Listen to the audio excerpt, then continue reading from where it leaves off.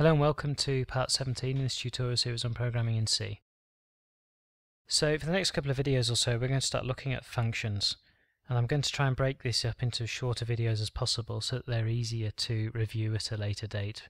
Otherwise you'll end up with a 60 minute video talking about a lot of different concepts and it'll be difficult to sift through them all to, to review different parts. In this first part we're going to look at the simplest form of function. The first thing we need to do is ask ourselves what a function is. We've actually, in all of our tutorials, been using a function called main. Now main is unique in the sense that we can only define it once inside our program and it's used as the entry point by the compiler for our program, as you already know.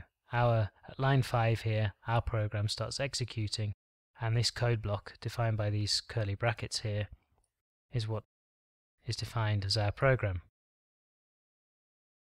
Now, this main function here has its name main. It has here what's called its return type, which is an integer, which means when it's finished executing, it returns an integer value. In this case, we're saying return naught at the end of execution. And because it's the main function, that's the end of our program. And it has here some curly brackets which define the code that's executed when this function is called. So how do we define our own functions apart from main? Well, it's simple. First, we have to do two things. One is define what's called a prototype, which is the description of the function on one line. And somewhere else in the program, we then define the code block that's executed when that function is called. So let's declare a prototype, and we're going to say our return type is of type void, which means nothing. Then we give it our name, which will be say hello.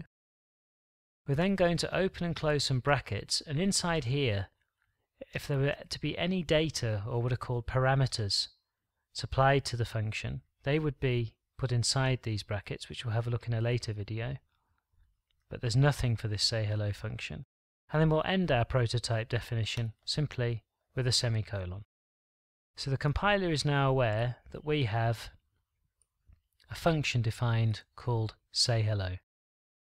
And now below the main function, I'm going to type void say hello, open and close brackets. But rather than a prototype definition, which we've already done up here on line 3 with the semicolon, on line 27 here, I'm now going to open and close a code block, and this will now contain the code that's executed when this say hello function is called. So I'm going to type printf, I'm just going to copy this and paste and say say hello was called.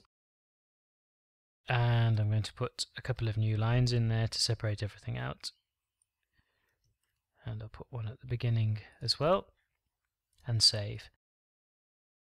So to reiterate at the top here we've got what's called our prototype which is our return type, in this case a void, nothing, a space, our name, say hello, our brackets containing, if any, data, and then a semicolon to end our prototype definition. And then down here, we've got the actual function description, or code, which again is our return type, our name, our arguments or parameters or data, if any, inside some brackets, and then in this time, a code block, and inside here is the code that will be executed when we call this function. And this format here is exactly the same as the way the main function is declared here.